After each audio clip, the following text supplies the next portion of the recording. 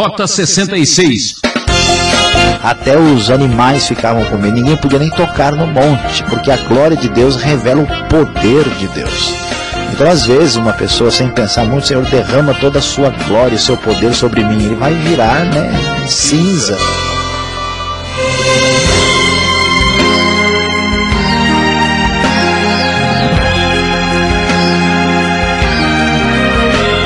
É, sem medo de ser feliz. Está no ar o programa Rota 66. Aqui é Beltrão trazendo mais uma série de estudo no livro de Êxodo. Caminhamos a passos largos nos capítulos 23, 24 e 25. Já vimos Moisés recebendo os Dez Mandamentos e agora ele volta ao monte para um encontro especial, marcando a presença. É o tema da aula de hoje. Qual a importância do tabernáculo? Podemos ver a Deus se fizermos tudo certinho?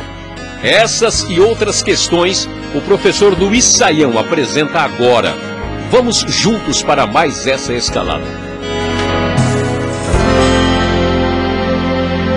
Nós estaremos refletindo e pensando no dia de hoje sobre o tema Marcando a Presença. O povo de Israel estava num relacionamento de aliança com Deus, caminhando na direção da terra de Canaã. Deus marca a sua presença no livro de Êxodo, em primeiro lugar, uma presença libertadora do povo, que tira o povo do Egito da terra da escravidão. Depois Deus se manifesta como uma presença orientadora que dirige o povo pelo deserto do Sinai até que eles cheguem à terra de Canaã. E finalmente essa presença de Deus vai ser uma presença exigente que levará o povo a reconhecer a Deus, seguindo as suas orientações, atendendo a sua lei e também adorando a Deus devidamente. E o final do capítulo 23, no texto sagrado, conforme a NVI, nós lemos que Deus diz: Eis que envia um anjo à frente de vocês para protegê-los por todo o caminho e fazê-los chegar ao lugar que preparei. Preste atenção e ouçam o que ele diz: Não se rebelem contra ele, pois não perdoará suas transgressões, pois nele está o meu nome. Se vocês ouvirem atentamente o que ele disser e fizerem tudo o que lhes ordeno, serei inimigo dos seus inimigos, adversário dos seus adversários.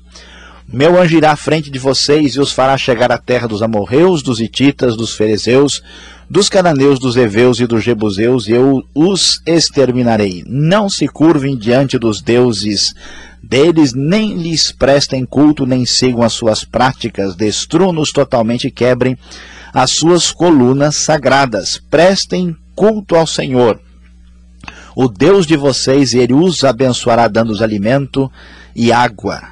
Deus então orienta o seu povo dizendo que estaria provendo com a sua bondade todas as necessidades e exigindo que eles tivessem uma atitude de rejeição das práticas pagãs dos povos que viviam naquela terra. E neste momento Deus manifesta a sua clara disposição de reafirmar a sua própria aliança.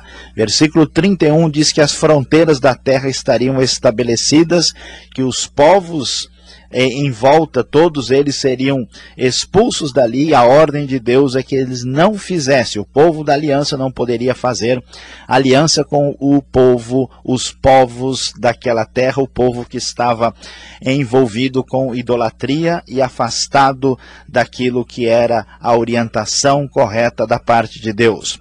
E o capítulo 24, Deus então fala com Moisés e o convida juntamente com Arão, Nadab, Abiú e setenta autoridades de Israel, também chamados muitas vezes de setenta anciãos. Eles são convidados a se aproximar de Deus até uma certa distância, e o texto sagrado nos mostra uma atmosfera de bastante suspense, de bastante expectativa, o texto nos diz que eles oferecem holocaustos ao Senhor, e versículo 6 diz que Moisés coloca metade do sangue em tigelas e a outra metade derrama sobre o altar. Em seguida, ele leu o livro da aliança para o povo e eles disseram: Faremos fielmente tudo o que o Senhor ordenou, ratificando a disposição de seguir e obedecer à aliança que havia sido dada no Monte Sinai, como nós lemos a, no capítulo de número 19. E assim eles, os líderes, Moisés, Arão, Nadab, Abiú e as setenta autoridades de Israel subiram, e o texto nos diz que eles viram o Deus de Israel, sob cujos pés havia algo semelhante a um pavimento de safira, uma espécie de pavimento azulado. O texto diz que era como o céu em seu esplendor. Deus, porém, não estendeu a mão para punir esses líderes do povo de Israel. Eles viram a Deus e depois comeram e beberam. Assim, Deus hum, revela a sua pessoa, a presença de Deus se manifesta, se manifesta de maneira especial nesse desfecho da aliança de Deus com o próprio povo, que vai ser encerrado aqui no capítulo de número 24. E o texto bíblico prossegue dizendo que o Senhor pediu que Moisés subisse ao monte para que ele recebesse tábuas de pedra com a lei e os mandamentos que escrevi para a instrução do povo. Moisés então vai com Josué, seu auxiliar, e pede que os demais fiquem esperando o seu retorno.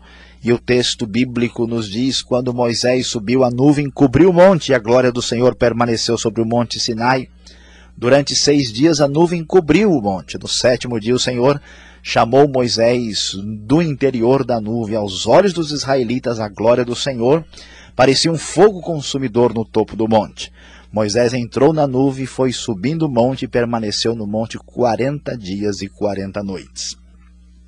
Meus amados, o que a Bíblia vai nos ensinar é que Deus se revela ao homem na busca desse homem que se afastou dele, deste homem que está perdido, que pecou desde Adão.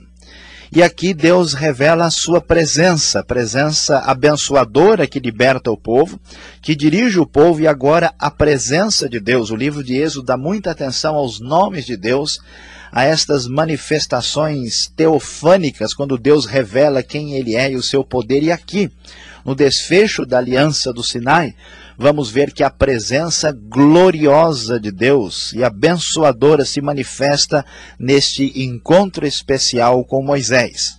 E a partir do capítulo 25, na verdade, indo do capítulo 25 até o capítulo 40 do livro de Êxodo, nós vamos observar que esta presença especial de Deus vai ser representada ah, pela figura do tabernáculo.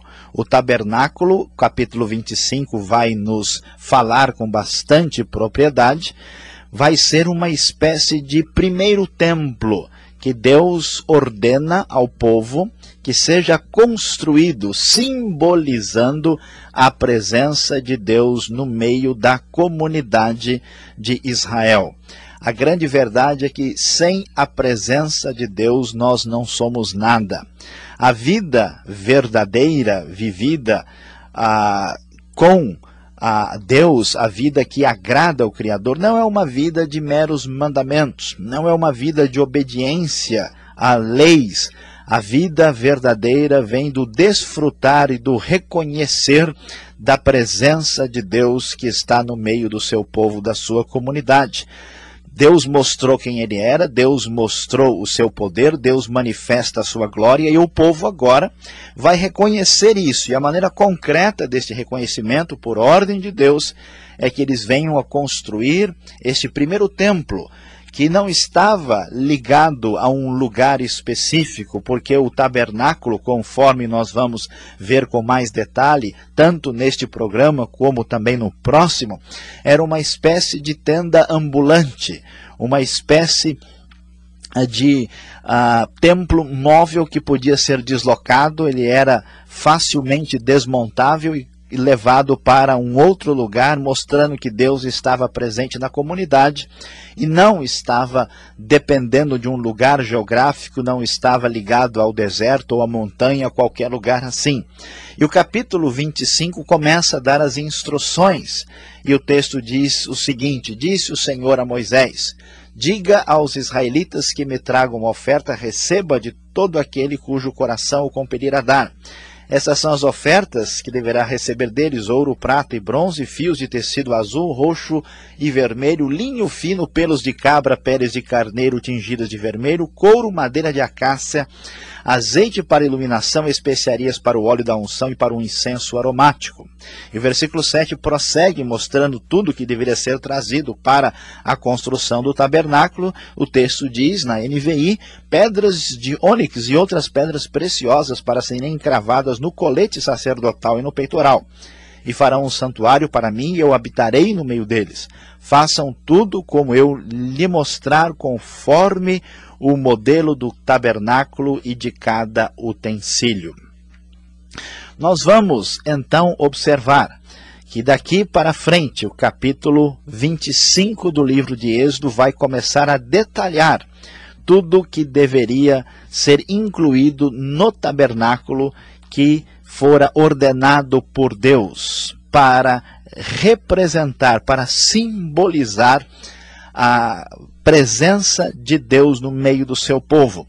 Essa presença de Deus, ela também manifestava a relação devida que o homem da comunidade de Israel deveria ter com Deus. Nós podemos imaginar de modo geral ah, que este tabernáculo ele uh, simbolizava Deus presente no meio do seu povo, Deus que havia libertado, Deus que havia dirigido e o Deus que havia se revelado de maneira mais clara. A presença de Deus é uma presença que exige purificação e santidade. Por isso, nós vamos observar nos próximos programas que a relação do adorador ah, com Deus era uma relação que envolvia ética e purificação purificação cerimonial, porque Deus é um Deus santo, um Deus diferente da proposta religiosa do paganismo.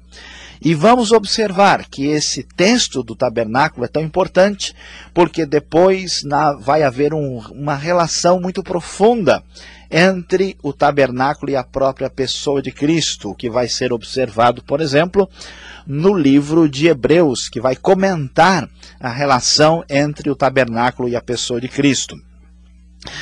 Cristo, diz o Evangelho de João, ele tabernaculou entre nós, ele habitou entre nós. Cristo é Deus presente entre nós hoje. De certa forma, o tabernáculo era uma espécie de figura de Cristo, ainda que nós não sejamos aconselhados pelos maiores estudiosos a tentar estabelecer uma relação detalhada entre o tabernáculo e a pessoa e a obra de Cristo, porque muitas vezes isso se torna muito subjetivo, mas de modo geral, sim.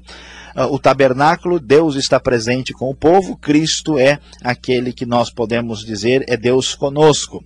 E o tabernáculo tinha a possibilidade de prover, através dos altares e da ação dos sacerdotes, sacrifícios, mais sacrifícios, de acordo com Hebreus, ainda imperfeitos.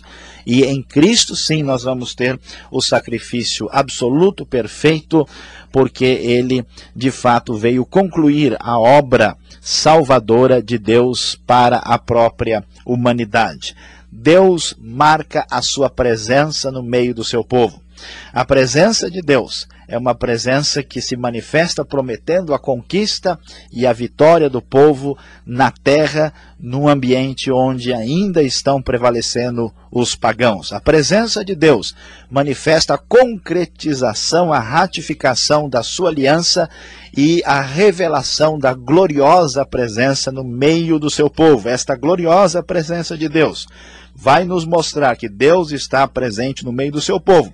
Portanto, esse povo deve uma atitude de a postura ética e purificada perante o Deus que tem uma presença exigente, que exige um comportamento adequado. E esse mesmo Deus presente vai exigir do seu povo, da comunidade da fé, o reconhecimento da sua presença, que é a adoração. Louvado seja Deus, pois ele marcou e marca a presença no meio da comunidade do seu povo.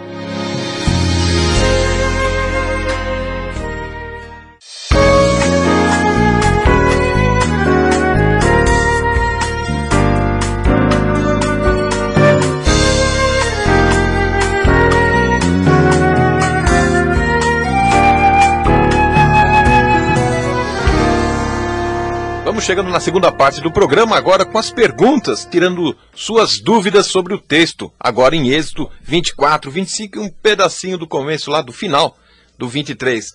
Luiz Saião, verso 10 do capítulo 24 já traz a primeira confusão para nós.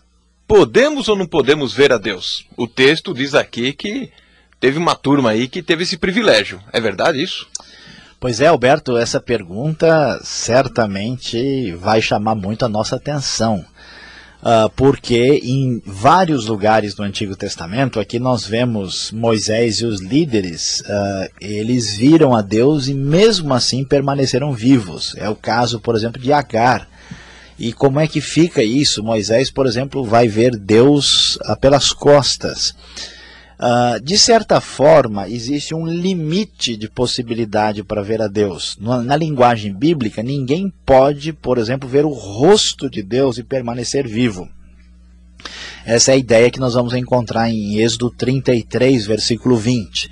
Então, assim, se pode ver até um certo ponto, há uma revelação de Deus parcial, mas ninguém pode ver Deus na sua magnitude, na sua glória plena, porque a finitude humana não permite isso. Existe uma dinâmica interessante no Antigo Testamento uh, e na Bíblia de modo geral, que Deus é um Deus que se revela e se esconde ao mesmo tempo, se oculta.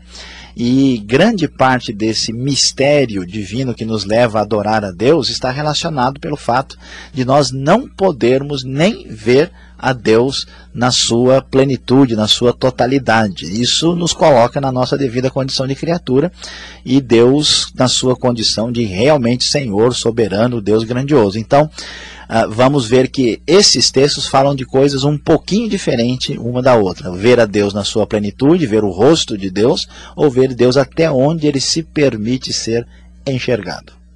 Tá certo. E você aí? Concordou? Vamos para a segunda pergunta agora a glória de Deus. Isso nós estamos vendo no capítulo 24, o verso 16. Hoje, quantas músicas, corinho falando da glória de Deus, quem será esse lugar?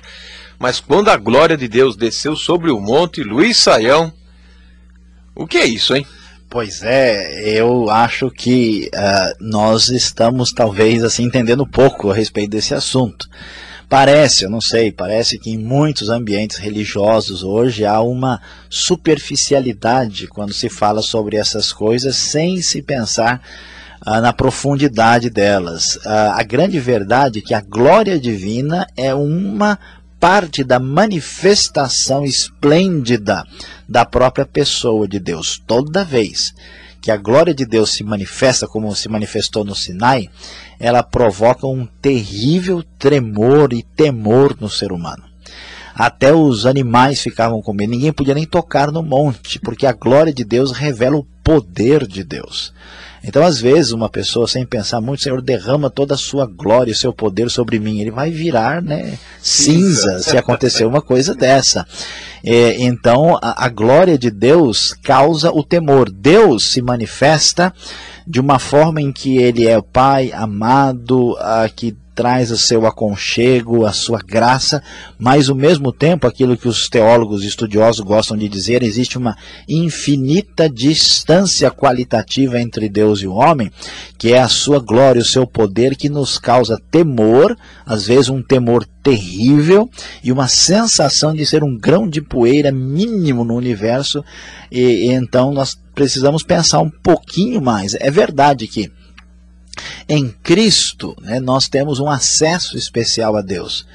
Então, no culto, na igreja, reunidos, nós temos essa dimensão, mas isso deve causar um senso de adoração profunda e não uma atitude assim leviana e sem manifestação de temor. Ou seja, tem que ter mais piedade e reverência, né? Sem dúvida. Agora, este povo, a gente pode chamar assim, puxa, mas esse povo é barraqueiro, né? Agora você vai me explicar qual a importância do tabernáculo. Eles vão montar aí um, uma tenda grande qual o valor disso? Hoje tem alguma algum efeito, algo prático para nós hoje? Olha, o tabernáculo tem, Alberto, lições importantíssimas aqui. Em primeiro lugar, nós temos uma grande discussão, uma tensão aqui na Bíblia sobre a, a, questão da luta entre a manifestação concreta da adoração e o perigo da idolatria. Vamos ver, por exemplo, daqui a pouco, no próximo programa, né, a questão da arca, que tem os querubins em cima, tem todo aí um, um, uma, um elemento perceptível, né, algo concreto. Então, o, o tabernáculo, ele manifestava de maneira concreta a presença de Deus no meio do seu povo e dava algo como que visível e concreto para que o povo adorasse a Deus, ah, de certa forma, uh, mediado ou pelo menos auxiliado pela, pela presença de Deus simbolizada no tabernáculo.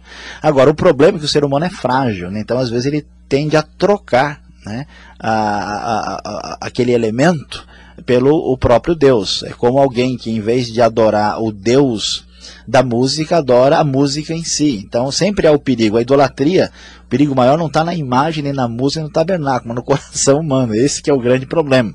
Então o tabernáculo tem esse valor. Outra coisa importante é que cercado de pagãos, que tinham todo tipo de manifestação concreta de adoração, de cultos uh, contra a, a, verdade do Deus único, eles então agora tinham uma adoração centralizada, eles tinham um referencial definido no meio do povo que garantia essa espécie de unidade. A Bíblia diz que todas essas coisas se cumpriram em Cristo, então não há necessidade mais, aqui é muito importante, não há necessidade de uma construção religiosa de um tabernáculo. Né? Não é verdade que Deus está no prédio da igreja, no templo, na catedral. Isso não é verdade. Deus está presente em nós. Nós somos o novo templo, de acordo com o Novo Testamento. Aquele é um lugar escolhido para a reunião do povo de Deus. Deus está presente com seu espírito na reunião do povo e não no edifício em si. Então isso tem bastante importância. Agora, talvez algumas pessoas estejam tentando retornar a uma postura do Antigo Testamento, que o Novo Testamento diz que em Cristo isso já não existe mais. Se nós queremos estudar, construir um tabernáculo para entender o significado, tá certo. Agora, querer retomar o tabernáculo que já se cumpriu a sua função em Cristo no Novo Testamento, aí precisa escutar mais o Rota 66 e estudar bem a Bíblia, senão a compreensão não vai estar perfeita não. Tá certo, eu fico curioso, assim como você, para acompanhar no próximo programa os detalhes desse grande, dessa grande tenda, né? Mas não desliga ainda não. Vem agora a aplicação do estudo de hoje. Obrigado, Sayão, pelas respostas e vamos em frente.